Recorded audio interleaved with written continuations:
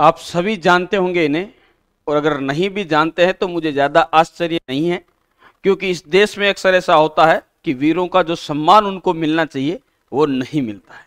तो मैं आप सभी को बता दूँ, ये है अमृतपाल सिंह जी, और ये देश के पहले अग्निवीर जो आर्मी में लागू हुई थी, उसके पहले शहीद है, जो अभी इस मिट्टी के लिए अपनी जान कुर्बान कर दी। लेकिन जब मैंने ये दृश्य देखा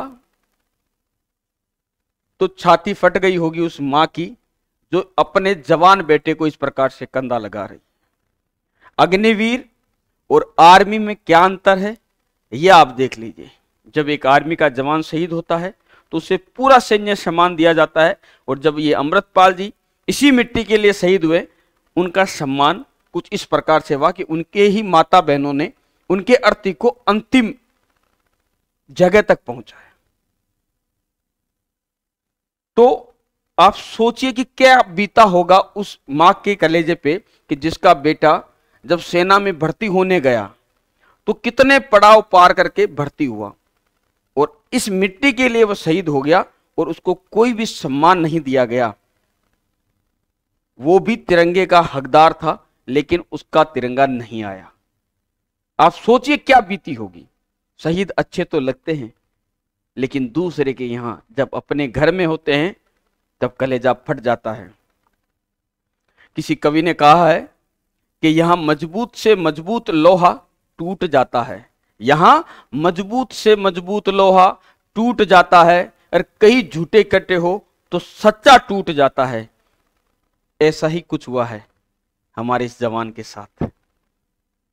आप खुद सोचिए कि जब मातृभूमि के लिए कोई जवान शहीद होता है तो उनमें इतना भेदभाव क्यों?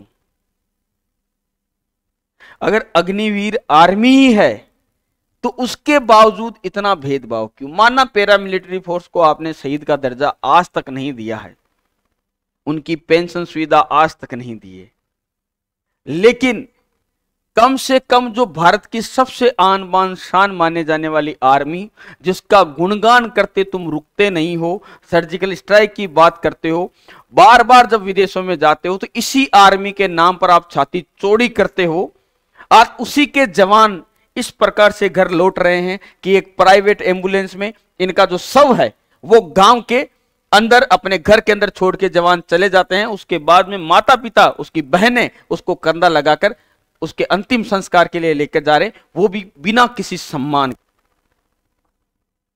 कम से कम पहले ये तो फील होता था कि जिसका माँ का लाल इस देश की मिट्टी के लिए जो शहीद होता था, हम लड़ते रह गए कि शहीदों का सम्मान होना चाहिए। अरे, हम तो यहाँ तक बात करते थे कि जिस देश में अगर कोई शहीद होता है तो 15 अगस्त और 26 जनवरी का उस गाँव में तिरंगा फहराने का अधिकार सिर्फ़ उसकी माँ को होना चाहिए। उसकी माँ को स्पेशल एक ऐसा कार्ड मिलना चाहिए, जिससे पता चले पूरे देश में कि यह शहीद की माँ है। आज वो दिन तो दूर, वो तो बहुत दूर हो गया कि शहीद जो देश के लिए हो रहे हैं, उनके सम्मान तो चलो छोड़ो, उनका जो एक सम्मान था, सैनिक सम्मान तिरंगा, वो भी इसको नसीब नहीं हुआ। कहाँ पर लाके रख दिया आप सोचिए इस आर्मी को। और जो आर्मी की तैयारी करने वाले युवा रात दिन जो मेहनत करके भर्ती होते हैं और इस देश की मिट्टी के लिए, मर मिटने के लिए तैयार रहते हैं, आपने देखा होगा अभी जो युद्ध का दौर चल रहा है, वहाँ पर जो शहीद हो रहे हैं, वहाँ सिविलियन आम लोगों को घरों से बाहर निकाला जा रहा है और वहाँ पर अपने देश के लिए मर मिटने के लिए जो तैयार होते हैं, वो होती है वहाँ की सेना। और सेना के साथ ऐसा दुर्भाग्यपूर्ण व्यवहार। कतई शर्म, जब एक छोटा सा सेलिब्रिटी छोटे बिग बॉस जैसे टास्क दिया जाता है तो वहाँ का मुख्यमंत्री हाथ खड़ा करके जलकारे लगाता है कि हम सपोर्ट करेंगे इसको। कहाँ गए वो? जो मिट्टी पर जो लड़ रहे हैं, जिन्होंने अपनी जान तक देती सर्वोच्च बलिदान बोला जाता है कि कोई अपनी जान दे दे उसको। और उनका यह सम्मान। आज कोई मुख्यमंत्री नहीं खड़ा हुआ। क्यों? क्योंकि ये प्रसिद्ध नहीं है, इनको जानते नहीं है। जिन लोगों के तुमने हाथ पकड़ रखे ना, उनसे तुम्हारे चार वोट आ जाते हैं।